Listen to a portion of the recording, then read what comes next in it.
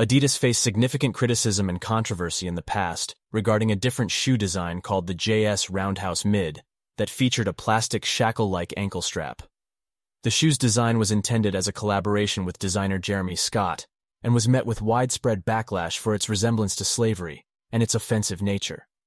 Following the backlash, Adidas decided not to release the JS Roundhouse Mid in the United States, and the controversy led to the cancellation of the shoe's global release. Adidas issued an apology, stating that the design had been misunderstood and that it was never meant to be offensive. The company acknowledged the concerns raised and expressed regret for any offense caused.